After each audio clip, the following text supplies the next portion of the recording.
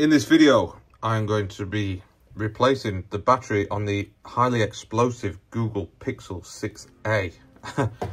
I call it highly explosive because there is a known problem that Google have identified that where this device reaches 400 charge cycles and then everything just goes wrong on it. This battery has started to swell, as you can see. I don't think you can see it, but I can definitely feel it. But we've got some swelling on the back here. I've got it on the hot plate set to 85 degrees centigrade. And what I'm going to do, I'm just going to run a bead of isopropyl alcohol around all four of the edges of the device. It's been sat on this hot plate for probably the past five minutes or so, and it is nice and warm to the touch. I would also advise making sure that the battery is significantly drained before doing this job. Getting a fully charged battery that's already known for its explosiveness hot is not a good idea. Now we're going to get our trusty suction cup, pop it on the bottom, about 5-10 mil away from the bottom edge of the phone. And what I'm doing, I'm sort of pulling back like that. That's I'm, I'm pivoting on this point here, so pulling that sort of method. I was trying to explain this to one of my staff, the, the way that I'm lifting. I'm, I'm not just lifting up. If I lift it up, obviously the phone's going to come with me. I'm pushing down here and lifting up here.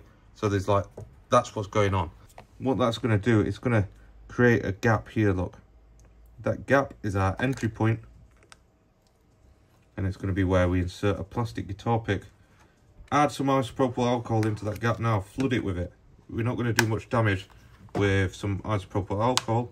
You might hear some clicking and cracking. Well, clicking is good, cracking is bad. The screens on these are quite fragile, so do take your time with this. But once you've got it warm enough and you've created that gap, then you should have no problem removing the screen on this model. What you may also find is that it's pretty dirty. This seal doesn't do a very good job. And if I was the owner of one of these, which I'm not, thankfully, I would not risk ever taking this near water because yeah, this seal is poor. Anyway, once you've worked your way around the right hand edge, bottom edge, and left hand edge, then I'm going to lift it from the bottom. And what I'm going to do, lifting it, wiggling it, but what you might find that will help is if you get the guitar pick and just slide it in and pry on that edge a little bit, just to push it out. It's clipped in here, so you just need to push it out a little bit. And then it opens like opening the front cover of a book, just like that just make sure that it's not still sat in on this this edge because you need to have it out like that then open it up like that. And that's it. This screen is open or this phone is open should i say. The screen's not quite removed yet. We just got a screw a shield and then we can get the battery out next. Let's close it back up and take it over to the nice cool workbench where we can get it took apart more when I said cool, I didn't mean cool as in groovy. I meant cool as in cool to touch. That that hot plate is very, very hot. anyway, I'm going to leave the suction cup attached to the front screen there because that's going to act as a little stopper to stop this phone screen from falling over. As you can see, if we let that fall over, then there's a risk that there's going to be some damage to this cable here, which is a very fragile part. Now, Google are doing something about this problem. I think they're offering some compensation towards a new phone or a battery replacement. Uh, but I think you have to send it off to them or take it to a approved place. I don't know the full details. Next, take this screwdriver. It's a T5, I think, like a Torx 5 or a Torx 4. Let's have a look at what driver I'm using on it. A lie. It's a T3. Look how twisted that is still works out. Anyway, remove that screw. And then I always find these things awkward to get out. I don't know why. But somehow you have to ping this uh, this little um, strange connector out. I just don't know how it works. Yeah, ping this strange connector. I always end up bending these. Maybe we'll get underneath it like that. Or maybe I'm looking at it wrong and we have... No, it doesn't work like that. I was thinking maybe the screw removed so that you can slide it out and under, but I don't think it works like that. Well, I don't know how I did it, but you have to ping that out. Look, it slides under there, and then it's sort of sprung into a little thing there. And I lifted it up and slid it across. That's how I did it. I'm going to li lift the phone up. I'm going to put my thumb on there. And what I'm going to do, I'm just going to pull that cable and disconnect the screen just like that. Very, very easy. Right, so now we need to remove this metal shield and the bottom speaker. And I believe most of these screws are the same size, but just look out for any um, that are incorrect sizes or unusual sizes. I'm going to use a little metal, um, a little magnetic parts tray to keep the screws organized. And basically what I'm going to do with that, I'm going to lay the screws out in the same way that I removed them. And, and that way it's quite hard to get it wrong unless you end up knocking the um, the tray with your hand and everything goes everywhere. But we're not going to do that really. Oops. Ha ha ha. So it, reminds me of that, uh, was it the Samsung Note 8 or the Note 9 that was uh, victim to a battery problem? Um, but it's, I don't know, I don't, I don't know when they're going to admit that the Google Pixel 7a batteries flawed as well because that's another one that I, I get in a lot. What have expanded um, pushed the screens off caused unnecessary damage to the phones really. Um, but earlier this month um well actually it was last month now because it's the beginning of August. At the beginning of last month they sort of said okay yeah we did something wrong. Um, here's how we're going to rectify it. And I think they've rolled out the program towards the back end of July 25 so one thing I have obviously noticed is like like I said, Google will offer to replace this, and I've had this conversation with a couple of customers already. Where whereas they've said like this particular one is like, oh, I'm going on holiday tomorrow, I need it fixing. So fair enough, he wants it sorting before he goes on holiday. The other one, I think they ended up taking it away, and they were gonna they they were gonna go and explore Google's options, and then come back if it, if they wanted a battery and blah blah blah. Anyway now that we've got all those screws removed, you don't have to remove these from the speaker. I just lifted up from this little bit of graphite stuff and then just like lifted it up like that. There was a bit of tape holding it down there, but generally this little shield comes away quite easily. I say little shield, it's massive.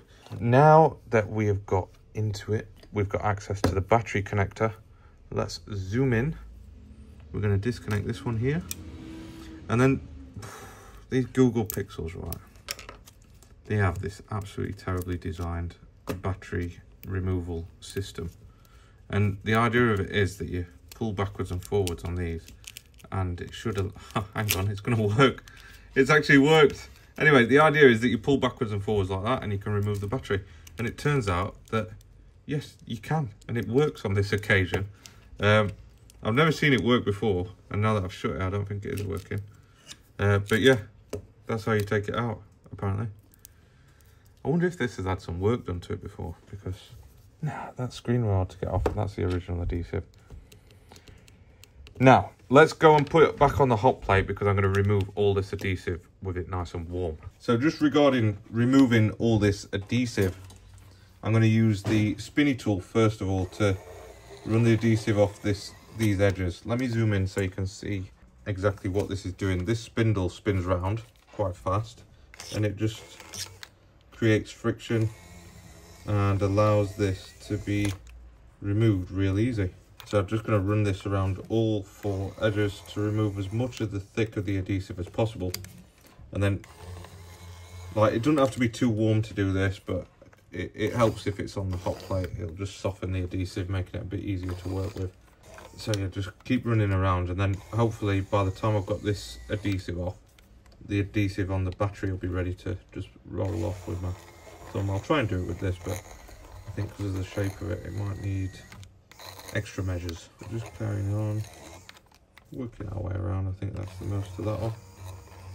You don't have to be perfect. Try and get as much off as you possibly can, but we can do a bit more work to clean this up. You know, while I'm at it, I'm going to get the screen as well, because there is some leftover adhesive on the back of the screen. So just going to run that over you see what it's doing there? Just turn it into little balls and wrapping around the spindle. I'll try and remember, like I always say I will, to put a link for this uh, spindly tool in the description below.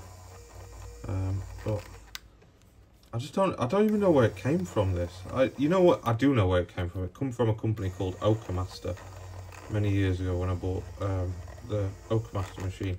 Anyway, now that we've got all this removed, we've just got the adhesive on. Let's have a look, see if it'll do it on this. Oh yeah, look at... Did you see that?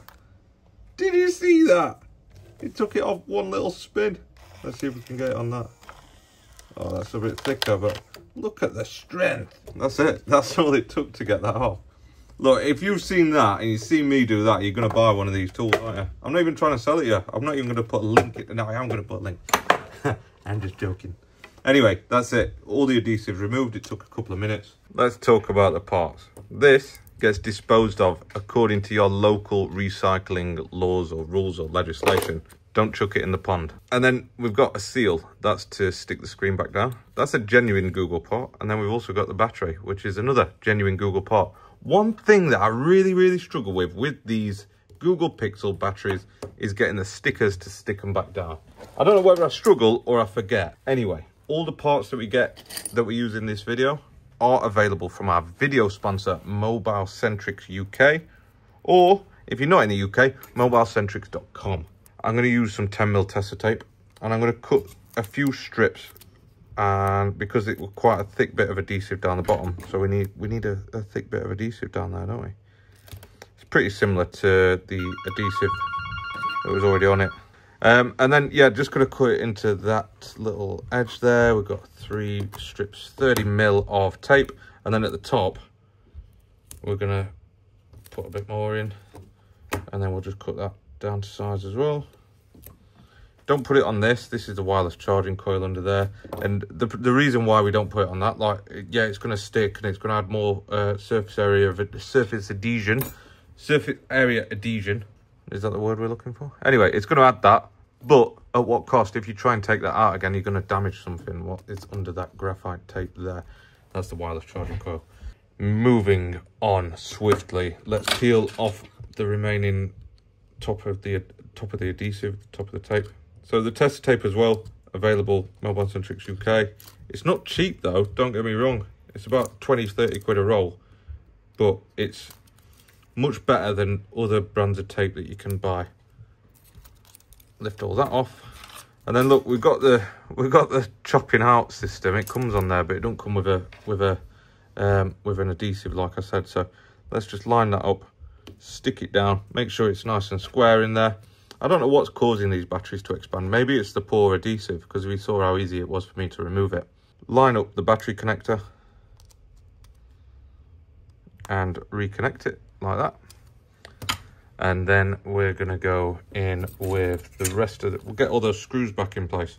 Just make sure the vibration motor is stuck to the back of that because there's like a gap here, look. Just make sure that gap is got something in it because it will not vibrate otherwise. Push that down and then of course we've got all those screws to get back in. Now because of the way that this screwdriver is twisted it's a bit awkward. I just need to replace it but you know other things get in the way most of the time. It, because it's twisted it just doesn't it takes twice as much effort to install screws. I don't know what this one is or whether it'll work.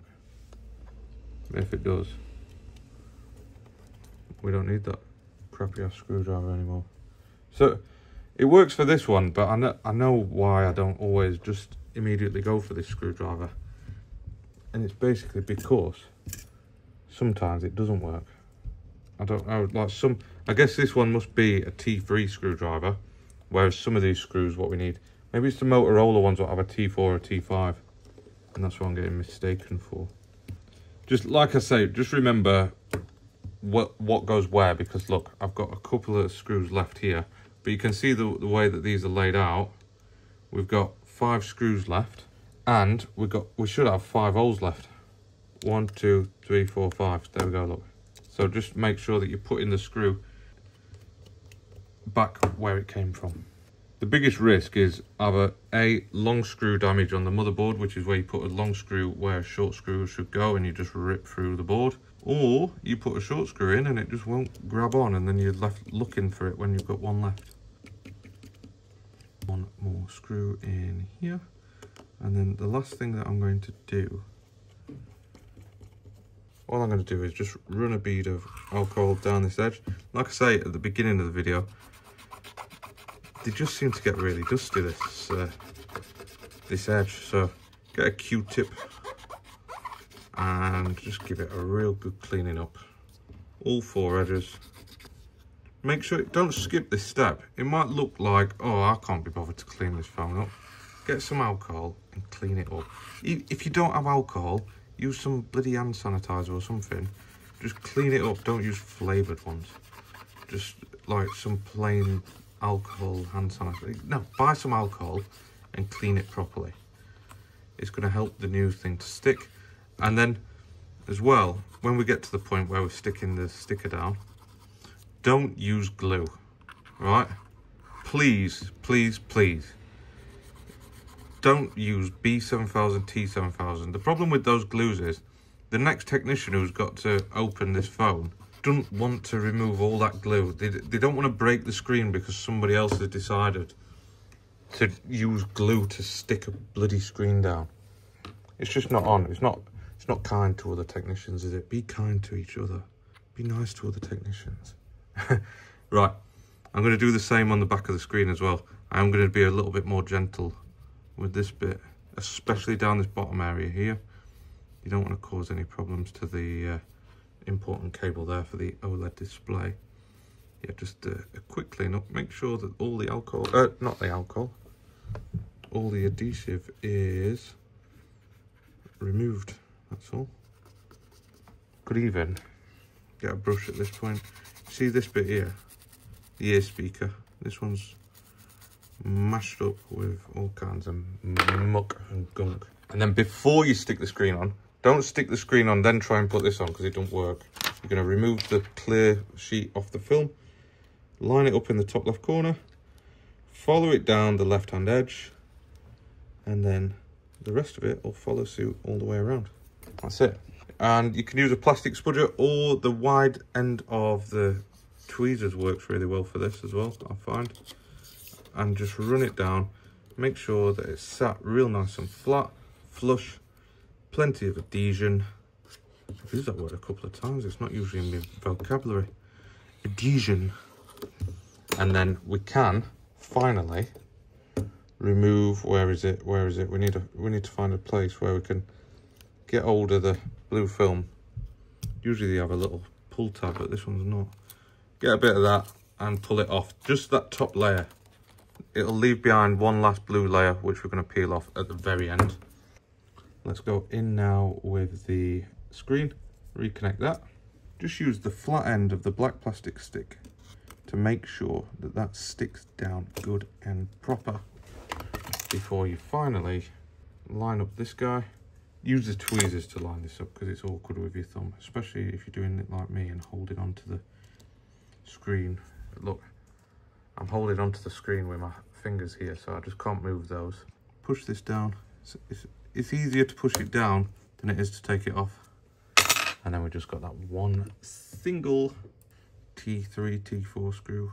Oh, this, this screwdriver says T2 on it, so that explains a lot. So it works with a T2, it's actually a T3. Get that screw in place and that's it. We are so close to being done. We just need to remove this last bit of film, which is easy. Just peel it off. All the way around, like close the screen up a little bit. Just lay it flat like that, it's not gonna do any damage. Peel off the rest of the film. And then in regards to putting the screen back on, you're gonna put it in at the top first, same as we took it off. Remember when we were wiggling it about from the bottom? Push down on these edges and then that's it. Look at that. It's all in. It's all fixed down. You just need to turn it on now. Make sure it charges. Press the power button to turn it on. There we go. That's it. Done. Repair complete. Thank you for watching and see you in the next video